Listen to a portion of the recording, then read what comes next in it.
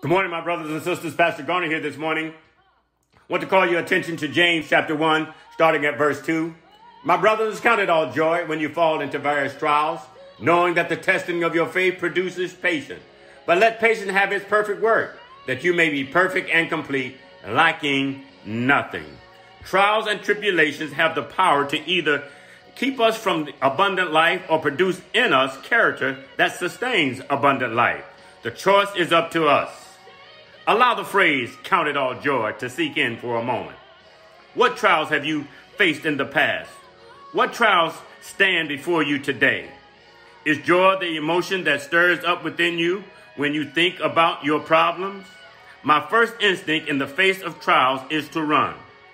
But scripture commands us to count our trials as joy and run at them head on for the sake of being transformed into a faith filled child of God.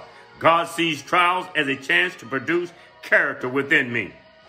The greatest gift we've been given in the face of trials is faith.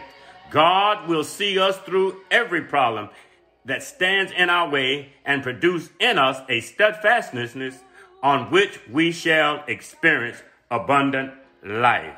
Hebrews chapter 10, starting at verse 35. Therefore, do not throw away your confidence, which has a great reward, for you have need of endurance, so that when you have done the will of God, you may receive what is promised.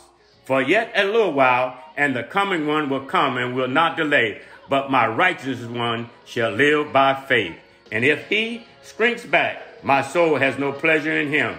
But we are not of those who shrink back and are destroyed but of those who have faith and preserve their souls. May God bless you today.